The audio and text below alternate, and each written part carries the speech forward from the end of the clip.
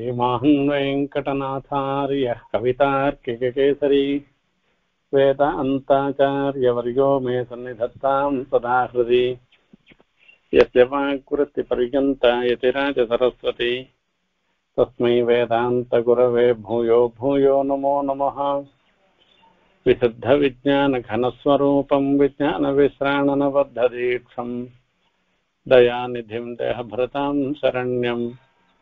देवं हयग्रीवमहं प्रपद्ये श्रीवत्सचिह्नमिश्रेभ्यः नमवुक्तिमधीमहे यदुक्तयः त्रयीकण्ठे यान्ति मङ्गलसूत्रताम् ஸ்ரீவைகுண்டஸ்தவத்தில் எம்பெருமானுடைய குணங்களை பற்றி நாமும் இப்பொழுது பார்த்து கொண்டிருக்கோம் எம்பெருமானுக்கு அதாவது லோகத்துல மீதி பேருக்கெல்லாம் பார்த்தோம்னாக்க அவ அவளிடத்துல இருக்கக்கூடிய நற்பண்புகளை கொண்டு அவளிடத்துல இருக்கக்கூடிய பண்புகளை கொண்டு தான் இவர்கள் நல்லவர்கள் கெட்டவர்கள் அப்படின்னு எல்லாம் தீர்மானம் பண்றதுன்றது.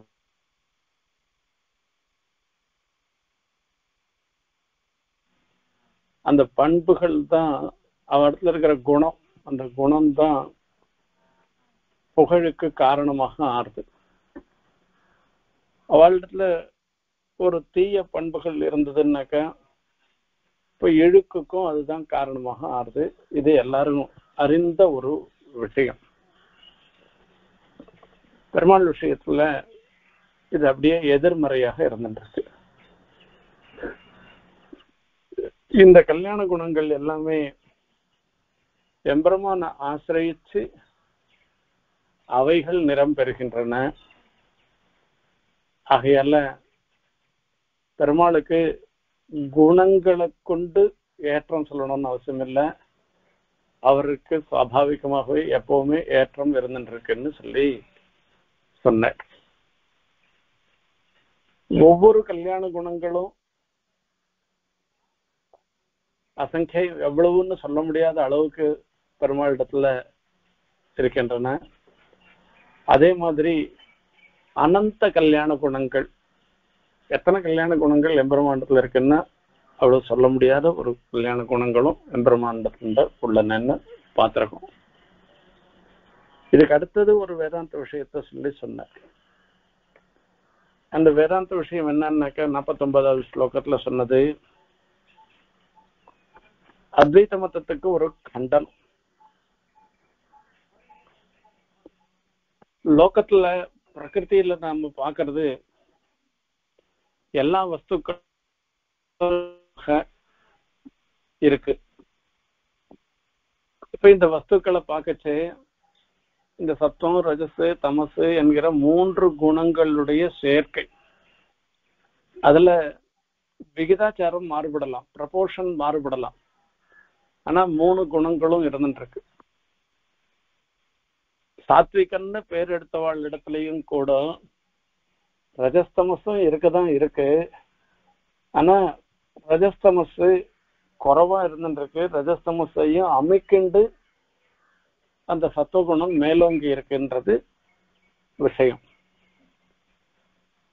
அதே மாதிரி ஒரு துஷ்டனிடத்துல தமோ குணம் மேலோங்கி இருக்கு. ரஜஸ்தமஸ் ரஜசம் சத்துவமும் அந்த இடத்துல அமைங்கி இருக்கு. இப்படி இருக்கிறதுனால லோகத்துல எல்லா வஸ்துக்களுமே சத்துவம் ரஜஸ்தமசுன்னு சொல்லக்கூடிய மூன்று குணங்களுடைய ஒரு சேர்க்கையாக தான் இருக்கு. பெருமாளை பொறுத்த வரைக்கும் துரைகுணா குணா ஸ்தவது சத்வரஜஸ்தமாம்சின்னு சொல்லிருக்கு. அந்த சத்துவம் ரஜஸ் தமசுன்ற குணங்கள்ல இருந்து ரொம்ப தூரத்துல இருக்காரு அப்படின்னாக்கா பெருமாள் இடத்துல அந்த சத்வ ரஜஸ் தமசு கிடையாதுன்னு அர்த்தம். அதாவது ரஜஸ்தமஸோட சேர்ந்த சத்துவகுணம் கிடையாதுன்னு அர்த்தமே தவிர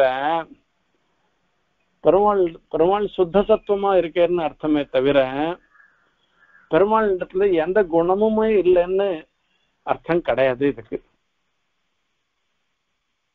இதை வச்சுட்டு ரஜசமஸோட கூட இருந்துருக்கிற சத்தம் இல்ல. இந்த திரை மூன்று குணங்களுக்கும் வெகு தூரத்துல பெருமாள் இருக்கே என்ன சொல்றதுனாலயே அவள்லாம் என்ன சொல்றா அப்படின்னா பெருமாள் நிர்குணமாக இருந்துருக்கு குணரகிதனாக இருந்துருக்கு. பெருமாள் அதான் பெருமாள்னு சொல்ல பிரம்மன்னு சொல்ல வேண்டியது. அந்த பிரம்மம் வந்து எந்த விதமான குணமும் இல்லாமல் இருக்குன்னு சொல்லி சொல்றேன் நிர்குணம்னு சொல்லி சொல்ற அதுக்கு சமாதானம் சொல்லி சொல்ற இப்படி சத்குண சாகரமாக இருந்திருக்கிற எம்பெருமான பார்த்து சமஸ்த கல்யாண குணங்களுக்கும் இருப்பிடமாக சமுத்திரமாக இருந்திருக்கிற அந்த எம்பெருமானுக்கு அவரை பார்த்து எப்படி நிர்குணமாக இருக்குன்னு அந்த பிரம்மன் நிர்குணமா இருக்குன்னு எப்படி சொல்ல மனசு வருதுன்னு தெரியல. அதுதான் ஆச்சரியமா இருக்கு என்று ஆழ்வான் சாதிக்கிறார். அதோட இல்ல அவர் பரமேஸ்வரனாக திகழ்கிறார். தமீஸ்வரானம் பரமம் மகேஸ்வரம்னு சொல்லி லோகத்துல யாரெல்லாம் ஈஸ்வரன் ஈஸ்வரன் தன்னை சொல்லி சொல்லிக்கிறாளோ அவ எல்லாருக்குமே மகேஸ்வரனாக பெருமாள் இருந்திருக்கு அவ எல்லாரையும் அவளுக்கும் ஈஸ்வரனாக பெருமாள் திகழ்கிறார் அப்படின்றதுதான் முக்கியமான ஒரு விஷயம். இப்படி இருந்துருக்கச்சே அப்ப நிர்குணம்னு வாக்கியம் இருந்துருக்க ஸ்ருதி இருக்க நிரஞ்சன பரமம் சாமியம் பைத்தின்னு சொல்லியிருக்கு நிர்குணம்னே சொல்லிருக்கு நிஷ்கிரியம் சாந்தம் நிரவத்தியம் நிரஞ்சனம்னு சொல்லிருக்கு நிஷ்கலம் நிர்குணம் எல்லாம் சொல்லியிருக்கேன் அந்த ஸ்ருதிகளுக்கு அர்த்தம் சொல்லணுமே.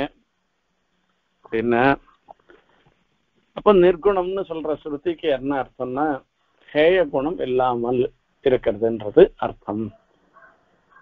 இததான் நம்ம இதுக்கு மின் உபன்யாசத்துல பார்த்தோம். இப்படி பெருமாள் ஹேய குணங்கள் எல்லாவற்றுக்கும் எதிர்த்தட்டாக இருந்து கொண்டு சமஸ்த கல்யாண குணங்களுக்கும் இருப்பிடமாகவும் இருந்துருக்கு என்று சொல்லி சொன்னோம் இப்போ ஒரு விஷயத்த சொல்லி சொல்ற ஞானாத்மனஸ்தவ ததேவ குணம் கிருணந்தி तेजोमयस्य हि मणेः गुण एव तेजः तेनैव विश्वमपरो अपरोक्षमुदीक्षसे त्वम् रक्षात्वदीक्षणत एव யதோகிலஸ்ய ஐம்பதாவது ஸ்லோகம் இது. ஞானாத்மனः தவ ததேவ குணம் கிருணந்தி.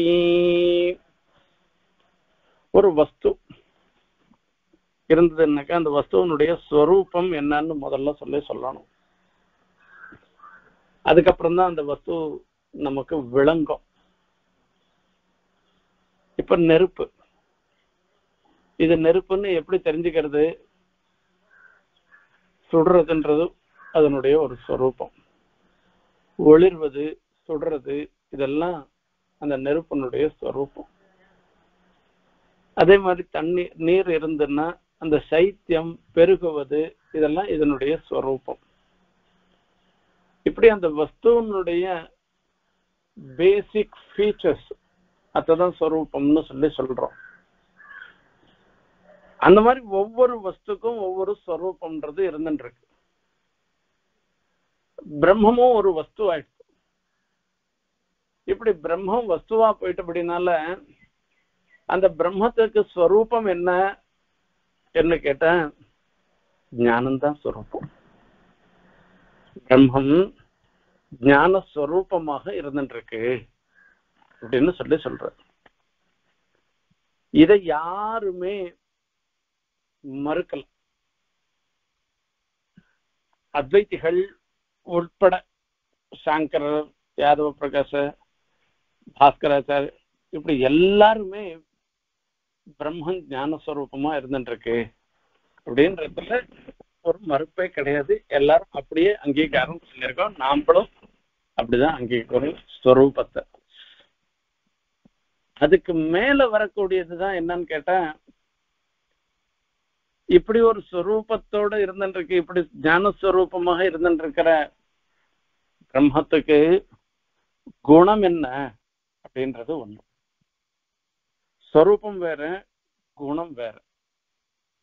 ஸ்வரூபமாக சொல்றது நமக்கு எல்லாரும் அந்த வஸ்துவனுடைய பேசிக் ஃபீச்சர்ஸ் அது எந்த அதனுடைய ஒரு முக்கியமான ஃபீச்சர்ஸை கொண்டு நிரூபணம் பண்றோமே நெருப்புன்னாக்கா அந்த சுடுறதை கொண்டு தான் அதை நிரூபணம் பண்றோம். இது நெருப்புன்னு சொல்லி சொல்றோம்.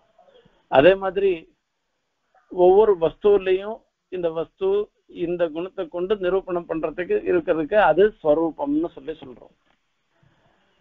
அப்போ பிரம்ம ஞானஸ்வரூபமாக இருந்துட்டு இருக்கு அதுல இருக்கக்கூடிய குணங்கள் அப்படின்றது அடுத்தது.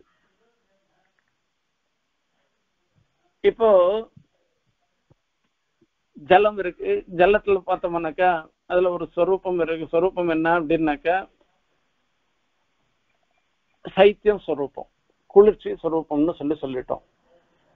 இப்போ அந்த சைத்தியத்துக்கு மேல சொல்ல வேண்டிய விஷயங்கள் என்ன? அதுல இருக்கக்கூடிய குணங்கள் அதுல என்ன அப்படின்னாக்கா அதுல ஒரு ருச்சி இருக்கிறது பெருகிறது. இந்த மாதிரி இதெல்லாம் அதுக்கு குணங்களாக சொல்லப்படுகின்றன. இப்ப அவ என்ன சொல்றா? பிரம்மம் ஸ்வரூபம் பிரம்மஸ்வரூபம் ஒத்துக்கிறோம் ஞான ஸ்வரூபமா இருந்துட்டு பிரம்மத்துல எந்த குணங்களும் கிடையாது அப்படின்னு சொல்லி சொல்ற. அததான் அவ நிர்குணம்னு சொல்லி சொல்ற. அந்த மாதிரி ஒரு பதார்த்தமே சொல்லவே முடியவே முடியாது. இன்னும் கேட்டா குணமே இல்லாததுன்றதே ஒரு குணம்னு சொல்ல வேண்டி போயிடும் அது. ஆகையால இது நிர்குணம்ன்றது சொல்ல முடியாது. அதோட இல்லாத இந்த பிரம்மம் எப்படி இருக்குன்னு கேட்டா ஸ்வரூபமும் இருக்கு. ஸ்வரூபமும் ஞான ஸ்வரூபமா இருந்துட்டு ஞானத்தை குணமாக கொண்டதாகவும் இருந்துருக்கு அந்த ஞானம்ன்றது தர்மபூத ஞானம் சொல்றது. அந்த தர்மபூத ஞானத்தை குணமாக இருக்குன்னு சொல்றோம். நாமளும் சொல்றோம் ஒவ்வொரு ஜீவாத்மாவும் ஞான ஸ்வரூபமாக இருந்துட்டு இருக்கு அதோட இல்லாத ஒவ்வொரு ஜீவாத்மாவையும் தர்மபூத ஞானம்னு ஒண்ணு சார்ந்து இருக்கிறது என்று சொல்றோம். அந்த தர்மபூத ஞானத்தை கொண்டுதான் நம்ம வஸ்துக்களை தெரிஞ்சுக்கிறோம். இதம் புஸ்தகம் இயம் மாலா இது புஸ்தகம் இது மாலை. இது துணி இது குடம் அப்படின்னு எல்லாம் நாம தெரிஞ்சுக்கிறோம். இந்த ஞானம் நமக்கு அந்த வஸ்து விஷயக்கமான ஞானம் எது மூலமா வருது அப்படின்னாக்க தர்மபூத ஞானத்தினால வருது. இப்போ தர்மி அந்த பிரம்மம் அதுவும் ஞான ஸ்வரூபமாக இருந்துருக்கு அந்த தர்மிய சார்ந்து இருக்கிற தர்மபூத ஞானமும் ஞான ஸ்வரூபமாக இருந்துருக்கு இந்த தர்மம் இந்த தர்மி ஸ்வரூபமாக இருந்துருக்கிற இந்த ஞானமானது ஞான குணகமாகவும் இந்த தர்மபூத ஞானம்ன்றது குணமாகவும் கொண்டிருக்கு. இதுதான் நம்ம சித்தாந்தம். விசிஷ்டாத்வைத சித்தாந்தம்.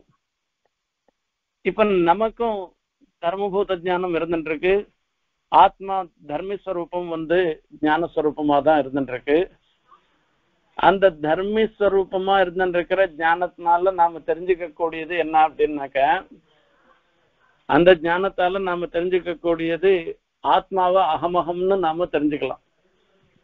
அது பிரத்யக்வம்னு சொல்லி சொல்றது. அது தவிர வேற எதையும் தெரிஞ்சுக்க முடியாது. அதே மாதிரி ஆத்மாவை வேற எதாலையும் தெரிஞ்சுக்க முடியாது. இந்த தர்ம ஞானத்தினாலதான் ஞான ஸ்வரூபமா இருக்கிறதுனாலதான் தெரிஞ்சுக்க முடியும். அந்த மாதிரி ஈஸ்வரனும் அந்த ஈஸ்வரனுக்கு உண்டான ஸ்வரூப ஞானம்ன்றது வேற. அந்த ஈஸ்வரனுக்கு தர்மபூத ஞானம்னு ஒண்ணு இருந்துருக்கு இருக்கு அந்த ஸ்வரூப ஞானத்தை ஆசிரியிச்சு இருந்துருக்கு ஜானாத்மனஹா தவ ததேவ குணம் கிருணந்தி என்ன சொல்ற உப்பு இருக்கு. உப்புக்கு ஸ்வரூபம் என்ன? என்ன கேட்டோம்னாக்க அந்த கரிக்கிறது தான் ஸ்வரூபம் அதுக்கு. உப்புக்கு ஸ்வரூபம் இது உப்பு வந்து எதை கொண்டு டிஃபைன் பண்றதுன்னா அதனுடைய ருச்சியை அதனுடைய ரசத்தை கொண்டு தீர்மானம் பண்றோம். இது உப்புன்னு சொல்லிட்டு. இதுக்கப்புறமா அந்த உப்புல இருக்கக்கூடிய குணங்கள் வெள்ளை வெள்ளையல்னு இருக்கு இல்ல பழுப்பா இருக்கு ஹார்டா இருக்கு கடினமா இருந்துருக்கு இல்ல தொடரத்துக்கு மிருதுவா இருந்துருக்கு இப்படி சொல்றதெல்லாம் வந்து இதுல இருக்கக்கூடிய குணங்கள். தர்மீஸ்வரூபம் உப்பு தர்மியில இருக்கக்கூடிய குணங்கள் என்னென்ன? அதனுடைய வெண்மையோ பழுப்பா இருக்கிறதோ கடினமா இருக்கிறதோ மிருதுவா இருக்கிறதோ இதெல்லாம் தர்மியில இருக்கக்கூடிய குணங்கள். அதே மாதிரி ஈஸ்வரன் ஞானஸ்வரூபமாக இருந்துட்டு ஈஸ்வரன் இடத்துல தர்மபூத ஞானம்னு ஒன்று இருந்துருக்கு அந்த ஈஸ்வரனுடைய தர்மபூத ஞானத்தை கொண்டுதான் ஈஸ்வரன் எல்லாத்தையும் தெரிஞ்சுக்கிறான். நாமளும் தர்மபூத ஞானத்தை கொண்டுதான் தெரிஞ்சுக்கிறோம். ஆனா நம்மளுடைய தர்மபூத ஞானம் இருக்க இது சங்கோச்ச விகாசத்துக்கு உட்பட்டது. நம்மளுடைய புண்ணிய பாப்பானுகுணமாக தர்மபூத ஞானம் சில சமயத்துல விகசிக்கிறது சில சமயத்துல சங்கோச்சமாகிறது. சுருங்கிறது சுருங்கி விரியும் ஒரு நிலை இதுக்கு இருந்துருக்கு ஆகையால இந்த இடத்துல ஈஸ்வரனுடைய தர்மபூத ஞானம் இருக்க அது எப்பவுமே விகசிச்சுதான் இருந்துருக்கு ஏன்னா ஈஸ்வரனுக்கு கர்ம சம்பந்தமே கிடையாது. கர்ம சம்பந்தம் இல்லாததுனால ஈஸ்வரனுடைய தர்மபூத ஞானம் விகசிச்சு இருக்கு. இதுதான் நாம தெரிஞ்சுக்க வேண்டிய ஒரு விஷயம். இத்த ஆழ்வான் இங்க சாதிக்கிறார். ஆழ்வான் சாதிக்கிறார். ஜானாத்மனஸ்தவ ததேவ குணம் கிருணந்தி. தேஜோமயஸ்ய ஹி हि मणेर्गुण एव तेजः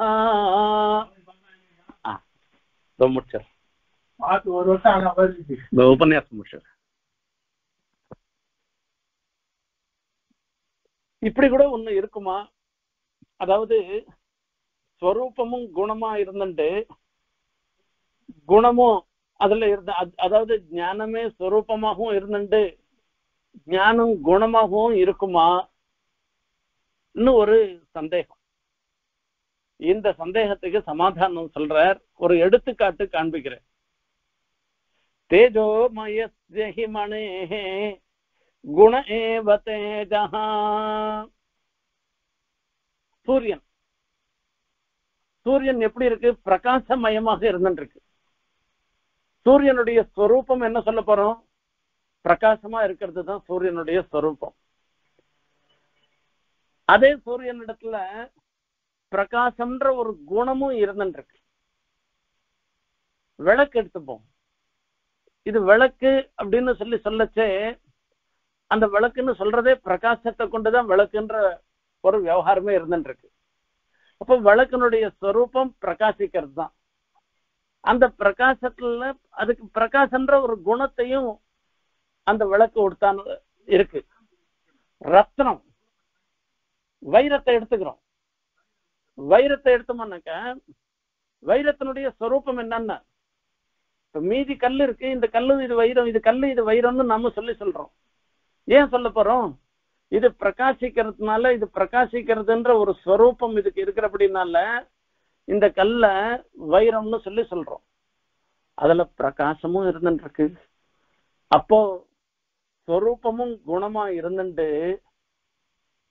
அந்த குணத்துக்கு பிரகாசம்ன்ற குணத்துக்கு பிரகாசமே ஸ்வரூபமா இருந்துட்டு பிரகாசம்ன்ற குணத்துக்கு ஆசிரியமாகவும் எப்படி ரத்தனம் இருந்துருக்கோ சூரியன் இருந்துருக்கோ அதே மாதிரி ஈஸ்வரனும் ஞானஸ்வரூபமாக இருந்துட்டு ஞான குணக்கமாகவும் இருந்துருக்கு ஆகையால இந்த மாதிரி இருக்க முடியாதுன்றது கிடையாதுன்னு தாத்பரியம். ஞானாத்மனஸ்தவ ததேவ குணம் கிருணந்தே கிருணந்தி தேஜோமயஸ்ய ஹி மணேः गुण एव तेजः तेनैव विश्वमपरोक्षमुदीक्षसे त्वम् रक्षात्वदीक्ष क्षणत एव यतोऽखिलस्य பா, என்ன ஒரு விஷயம் பாருங்க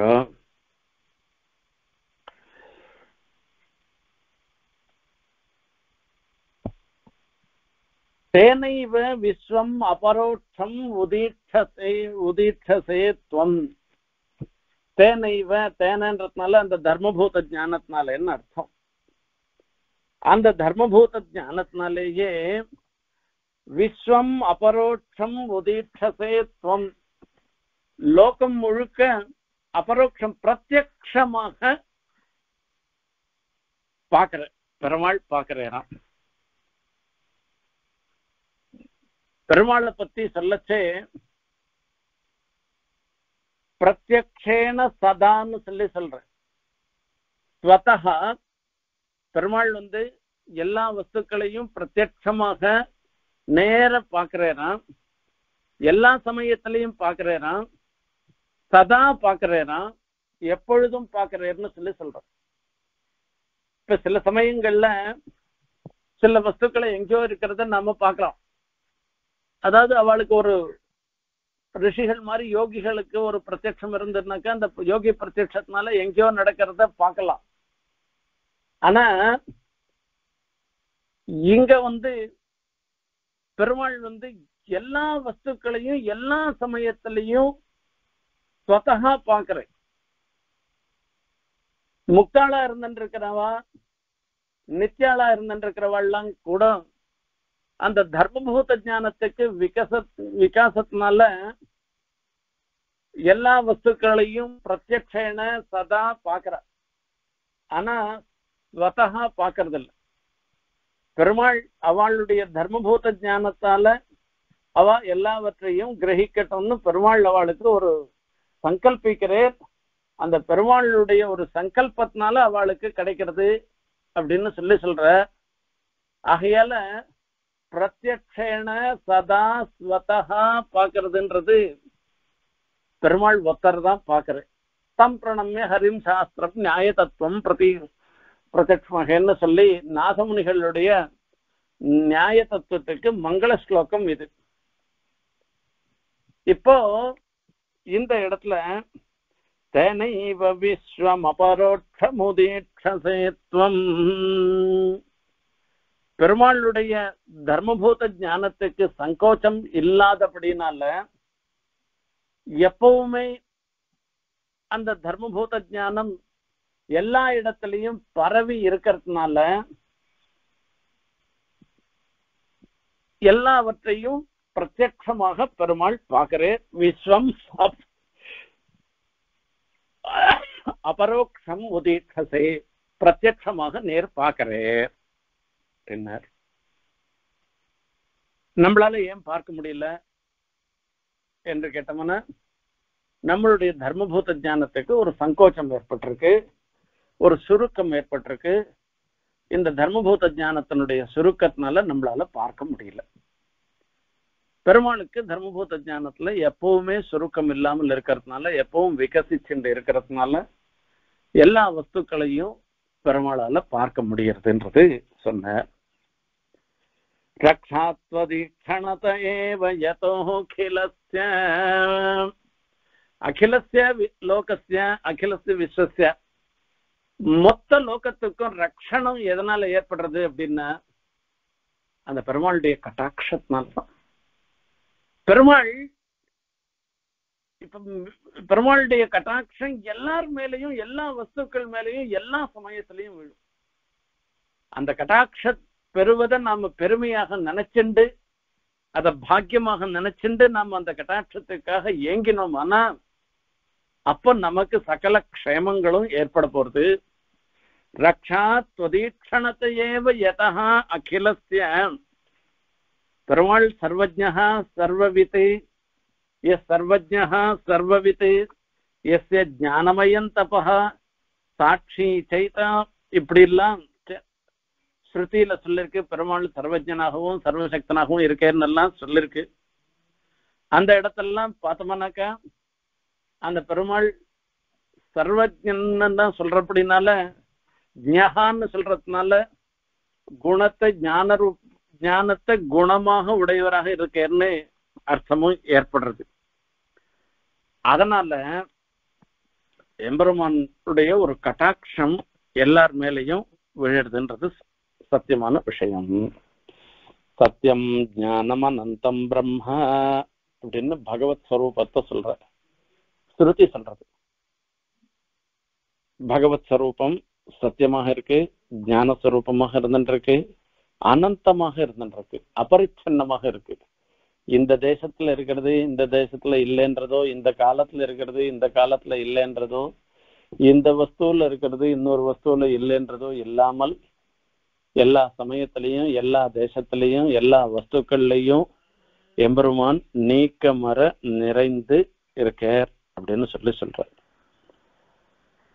அப்படி இருந்துட்டு இருக்கிற எம்பெருமான்னு சொல்றதுனால இப்ப இந்த ஞான குணக்கனாக இருக்க அப்படின்றது இதுல இருந்து ஏற்படுறது அந்த ஞான குணக்கனாக இருக்கிறது அந்த ஞானம் எதுன்னா தர்மபூத ஞானம் தான் அது தர்ம ஞானத்தை காட்டிலும் தர்மபூத ஞானம்ன்றது வேறுபட்டது. தர்ம ஞானம்ன்றது ஸ்வரூப ஞானம் அந்த ஸ்வரூப ஞானத்தை காட்டிலும் வேறுபட்டதாக இருந்துருக்கிற ஒரு தர்மபூத ஞானம் அந்த தர்மபூத ஞானத்தை கொண்டுதான் எல்லாருமே நாம வஸ்துக்களை தெரிஞ்சுக்கிறோம் அப்படின்னு சொல்லி சொல்றதுனால யோவேத்தி யுகபத் சர்வம் பிரத்யக்ஷேண சதாஸ்வதா தம் பிரணம்ய ஹரிம் சாஸ்திரம் न्यायतत्त्वं प्रचक्ष्महे பிரத்யக்ஷ்மகே யோ வேத்தி எவன் ஒருவன் அறிகிறானோ யுகபத்து ஒரே சமயத்துல பிரத்யக்ஷேண சதாஸ்வதா இது ஒரு சயின்ஸ்ல யோசனை பண்ணி பாருங்க. நம்ம எதிர ஒரு அஞ்சாறு வஸ்து இருக்கு. இந்த இடத்துல ஒரு துளசி செடி ஒன்று இருக்கு. மல்லி கொடி இருக்கு. அது தவிர ஒரு கட்டை ஒன்று இருக்கு. இங்க கம்பம் இருக்கு. எல்லாம் இருக்கு. வரிசையா அஞ்சாறு வஸ்து இருக்கு. இப்ப நான் அந்த அஞ்சாறு வஸ்துக்களை நான் பாக்குறேன் அஞ்சாறு வஸ்துக்களையும் ஒரே சமயத்துல பாக்குறேன் என் எதிர அஞ்சையும் இருக்கு. இப்ப எனக்கு அந்த ஞானம் வந்து இந்த மல்லி செடி துளசி செடி கம்பம் கட்டை எல்லாமே சைமல்டேனியஸா ஏற்படுறதா ஒண்ணு ஒன்னா ஏற்படுறதா அப்படின்றத கொஞ்சம் யோசனை பண்ணி பாருங்க.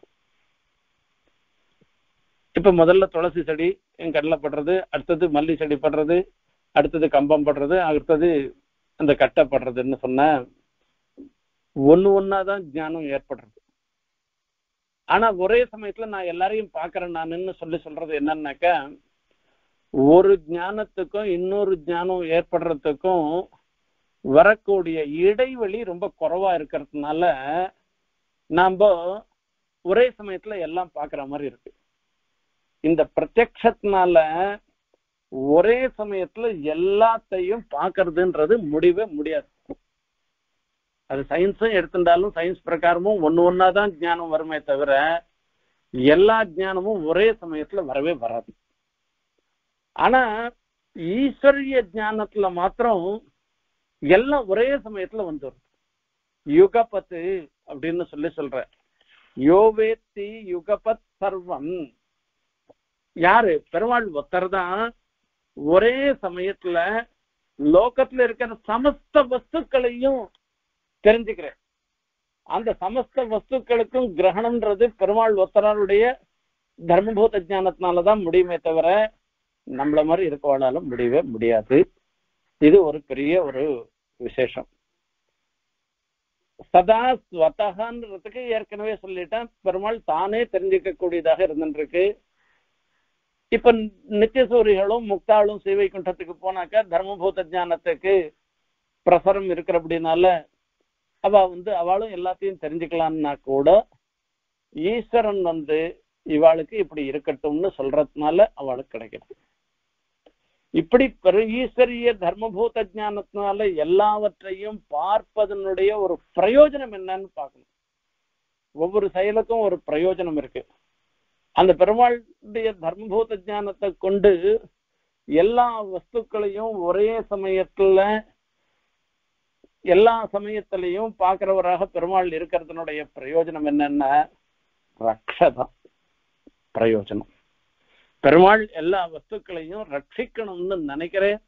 அந்த கட்டாட்சத்தினாலேயே அந்த ரட்சணம்ன்றது ஏற்படுறது. அதுக்காக தான் பெருமாள் எல்லா வஸ்துக்களையும் ஒரே சமயத்துல கட்டாட்சிக்கிறதுன்ற ஆழ்வான் சாதிக்கிறார். ரக்ஷாத்வதீக்ஷணதையே அப்படிப்பட்ட எம்பெருமானுடைய கட்டாட்சம் நம்ம எல்லாருக்கும் எப்பவும் இருக்கணும். பெருமாளுடைய கட்டாட்சம் எப்பவும் இருந்துட்டு இருக்கு அப்படி இருந்துட்டு இருக்கச்சே நாம ஏன் கஷ்டப்படுறோம் அப்படின்னா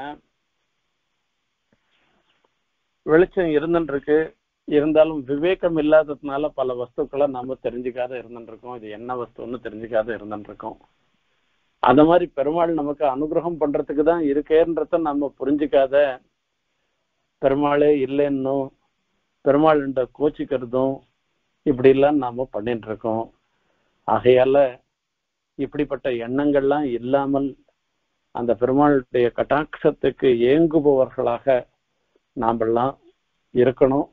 அப்படி இருந்தோம்னாக்கா கண்டிப்பா பெருமாளுடைய கட்டாட்சம் நம்ம மேல விழும். அது அனுகிரகமயமான ஒரு கட்டாட்சமாக தான் இருந்துருக்கோம் அந்த கட்டாட்சத்தினால நமக்கு சகல க்ஷேமங்களும் ஏற்பட போறது. அதுல ஒன்றும் சந்தேகமே இல்லை. அதை தான் நாம நித்தியம் பிரார்த்திக்கணும் அந்த கட்டாட்சம் நமக்கு எல்லாருக்கும் இருக்கணும்னு பிரார்த்திச்சென்று விடைபெறுகிறேன் ज्ञानात्मनस्तव तदेव गुणम् गृह्णन्ति तेजोमयस्य हि मणेः गुण एव तेजः तेनैव विश्वमपरोक्षमुदीक्षसे त्वम् रक्षात्वदीक्षणत एव यतोऽखिलस्य कवितार्किकसिंहाय कल्याणगुणशालिने श्रीमते वेङ्कटेशाय वेदान्तगुरवे नमः।